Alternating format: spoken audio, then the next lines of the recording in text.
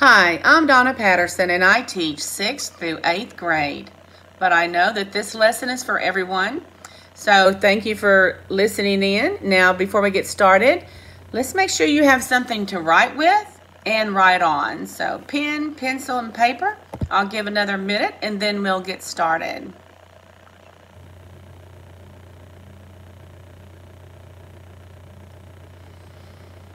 Okay, let's open up this, this lesson with a prayer. Let's pray together with the Lord's Prayer. In the name of the Father, and the Son, and the Holy Spirit. Amen. Our Father who art in heaven, hallowed be thy name. Thy kingdom come, thy will be done, on earth as it is in heaven. Give us this day our daily bread, and forgive us our trespasses as we forgive those who trespass against us. And lead us not into temptation, but deliver us from evil name of the Father, and the Son, and the Holy Spirit. Amen. So everybody has their something to write with and something to write on, because we're going to need that later on, actually at the end of the class. So this is one of my favorite lessons, and it's about Jesus healing us and how he heals us. So let me start off with a story. As we know, Jesus Jesus walked the land and to spread the word of God and he had believers and he had non believers. And one day he was in a small town of Capernaum, uh, spreading the word and talking about God. And four men came into the crowd carrying a friend that was paralyzed. The man could not move his arms or his legs. But there was such a crowd that they could not get to Jesus. So they climbed up on the roof where Jesus was, tore a hole in the roof, and lowered their friend down upon Jesus. Jesus was amazed at the faith of these men that they would do such a chore to get their friend to him. So Jesus looked at the paralyzed man and said, Your sins are forgiven. Well, some of those people said, Only God can forgive us. Who are you to forgive our sins? They were pretty much judging Jesus very harshly as he continued to help this man. And Jesus asked them, Well, why are you asking these things? Which is easier, forgiving him of his sins or telling him to get up and walk? His words confused people. So he told the man, Get up and pick up your mat and go home. And with everyone's amazement, the man did as Jesus said. He got up, he picked up his mat, and he went home. Not only did Jesus want people to see what he could do and how he could forgive us and forgive sins, but most importantly, he wanted people to know that forgiveness, forgiveness is an act of healing. And that's what we're going to talk about in our lesson today that forgiveness is an act of healing. Jesus wants to heal us as well through forgiveness. As a paralyzed man, we are all paralyzed in some way. How do you think we're paralyzed? Think about it. Maybe we're selfish at times. We have sinful habits. Jesus wants us to be free of these sinful habits. He desires to release us through forgiveness. He wants us to go forward and move towards others, excuse me, and towards God our Father. He wants to lead us in a direction that will keep us on a godly route. How are we healed by Jesus? You just mentioned it. Think about it. Say it out loud in your group, I mean, at your home. By forgiveness. As he forgave the paralyzed man, he will forgive us. But we must ask for forgiveness. In the Catholic Church, we do this through the sacrament of reconciliation. Your first reconciliation is participated prior to your first communion, which many of you have completed are en route to do so. But it does not stop there. Asking God for forgiveness is ongoing in every day of our lives, in our prayers, and through continued confessions with the priest. Each time you confess with the priest, you are experiencing the sacrament of reconciliation. During this time, we confess all of our sins that we remember committing. The most serious sins are mortal sins, as are as sins that are, may not be as serious, that are venial sins. But the mortal sins, they can separate us from God's grace, or they do. But even the smallest sins can place distance between us and God and can too easily lead us into making more serious sins. A little bad habit can easily evolve into a bigger bad habit. Again, who do we confess our sins to in the sacrament of reconciliation? To God, of course, but also to a priest. But only a priest have the authority in the Catholic Church to give sins, to forgive sins in the name of Christ. When we tell a priest our sins, Jesus hears them too. In receiving absolution, we are receiving Jesus' forgiveness, and that is through the ministry of the priest. Everything we tell a priest in confession is confidential. Confidential means private. That's private between me and the priest when I go to confession. And it's their duty not to share it, anything that they hear, and that is called the seal of confession. The seal of confession. That is the duty of a priest to seal the confession. So, celebrating reconciliation. Is it a celebration? Often, reconciliations can take place in a reconciliation room or confessional in a church. As the sinner, we must endure all things willingly. Otherwise, how do we seek God's forgiveness if we're not willing to ask for forgiveness? And we, we, we must be truly sorry to confess our sins. We don't go to confession and just say, I'm sorry, I did that, I won't do it again. We must really be truly sorry for our sins as we confess them to the priest. And we need to humbly carry out our penance.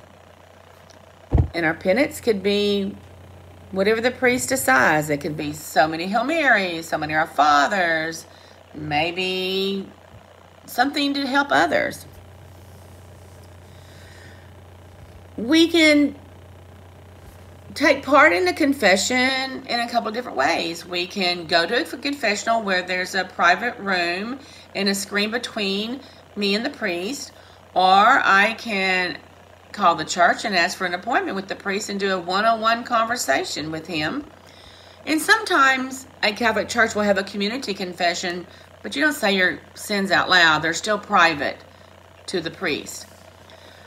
So there's various ways that you can uh, go through and confess your sins through the reconciliation. But no matter how we celebrate that or conduct our confession, we do only reconcile our sins with a priest and God hears those sins. When the priest absolves us in God's name during that confession, then Jesus forgives us. Our sins are forgiven. With mortal sins, the most serious sins, they could keep us apart from God forever. So that's so important uh, to ask for forgiveness of those sins, of all sins, of course. But once they are forgiven, we are restored to the communion with God, and eternal punishment is remitted. We are no longer deprived of the grace that makes us incapable of eternal life. Temporal or temporary punishment, which lasts for a period of time, can be lessened as we strive through prayer, acts of penance, works of mercy, and charity. I like to say, making ourselves better and doing things for others. We receive forgiveness of our sins when we celebrate the sacrament of reconciliation. And I know I'm repeating myself somewhat, but I, I want us to understand that the sacrament of reconciliation is ongoing. And and it doesn't just happen our first time and it goes away. We must continue to participate in the sacrament of reconciliation. We also must accept our penance and fulfill it. And when we do so, of course, we're forgiven. But we feel such a sense of peace. And we're given such strength, so much more strength for all the future challenges of temptations that lies ahead of us in our lives, no matter who we are, where we are, and how old we are. There's always going to be temptations and challenges. When we receive God's forgiveness, we also receive the grace to forgive others. If God can forgive us, we can forgive others. When we forgive others, our relationship with them and with God is healed. In forgiving others and making and asking for their forgiveness, we continue celebration of reconciliation. It's all part of the inner process of healing, of God healing us through forgiveness. Consider all the wonderful gifts that, gifts that come from reconciliation. It's easy to see why we call it a celebration. Jesus' gift of healing, healing, and no doubt is something to celebrate the feeling of not carrying something on your shoulders or in your mind or in your heart or in your soul that bothers you because something that bothers you and you may share with a friend may seem very small to them but if it matters to you and you know it wasn't right give it to God.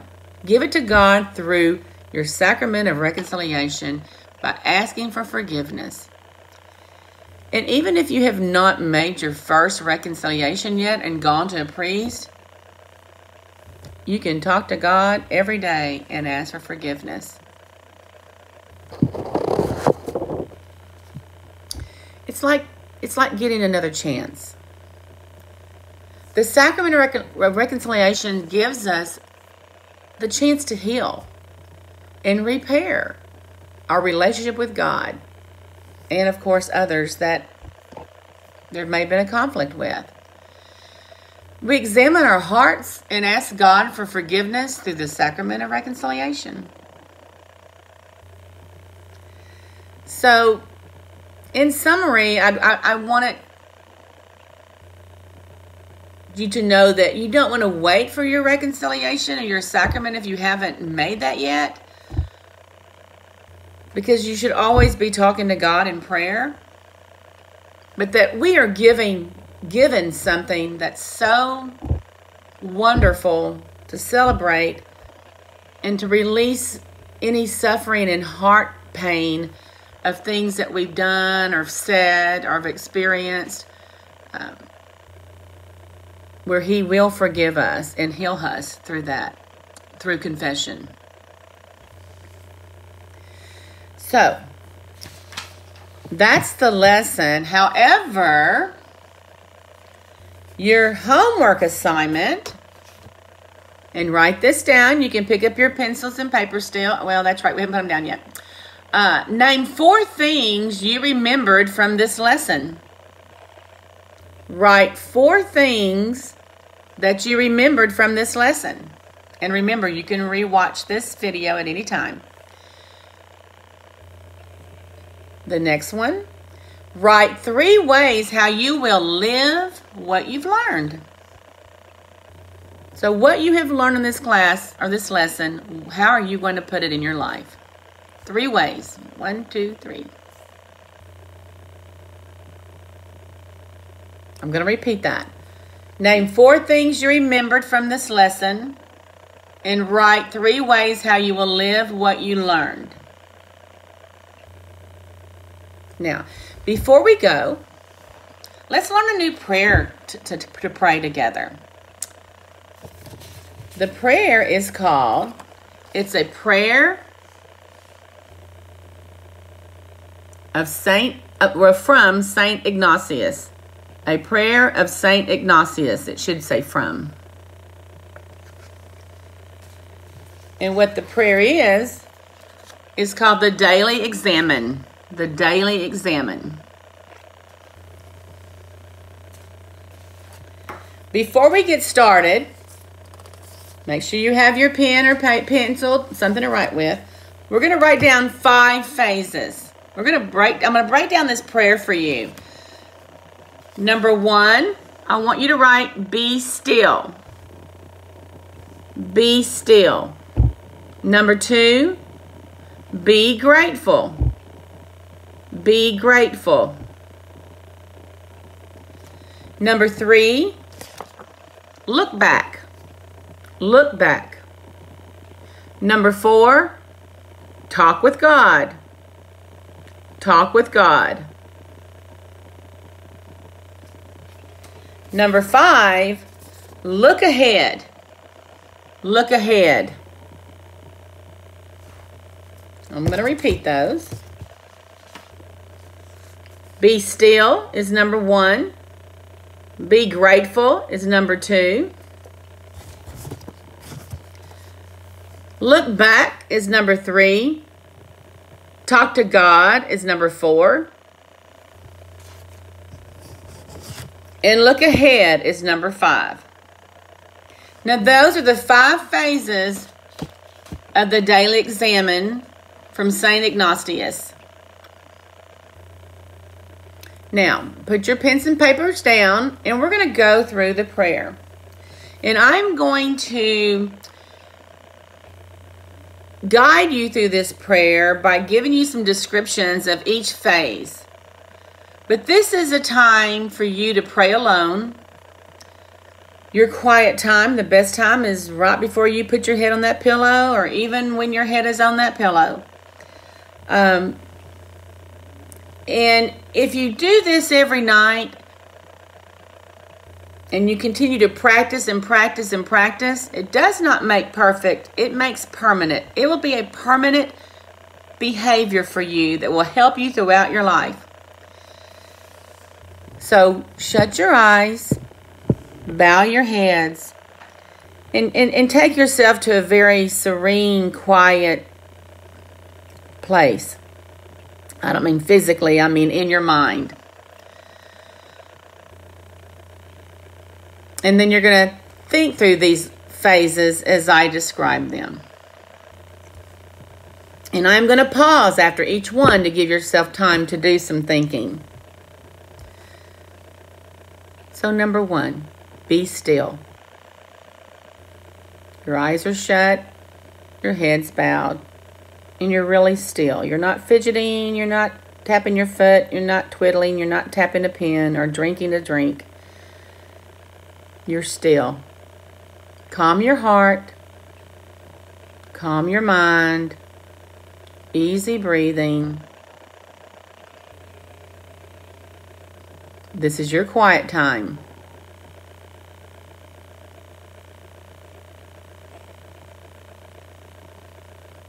Go into phase two. Be grateful. Give thanks to God for His gifts.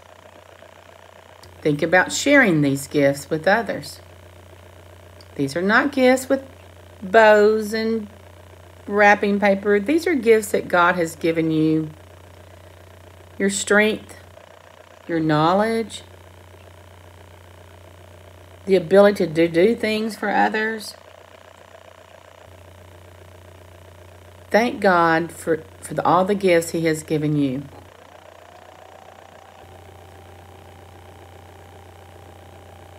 Going into phase three, look back.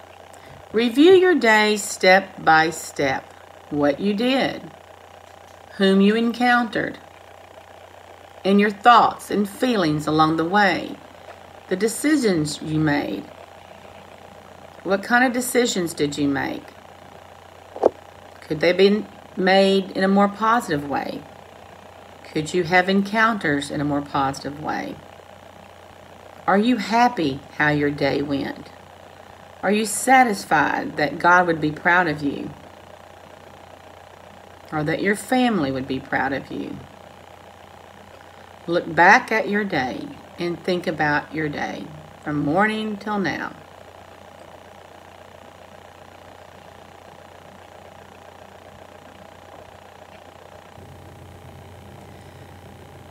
Talk with God is phase four. Tell God the things you feel good about. I'm so proud of myself, and it's okay to be proud of yourself. This would happen, I did this, and I'm very excited. And also tell him the things you regret. Oh, I wish I've done this instead of that. I could have been nicer to that person. I could have shared this with that person. Express your sorrow for the times you ignored God and we ignore God when we don't do the right things. And we ignore God when we don't do things to help others when we could have. Ask Him, ask God to help you make different choices next time. All you have to do is ask. He will lead the way. Phase 5 Look ahead. Ask God to help you be your best self as you look forward to a new day tomorrow. Ask God to help you be your best as you look forward to a new day tomorrow. You don't have to try to be like anybody else, but be the best you can be.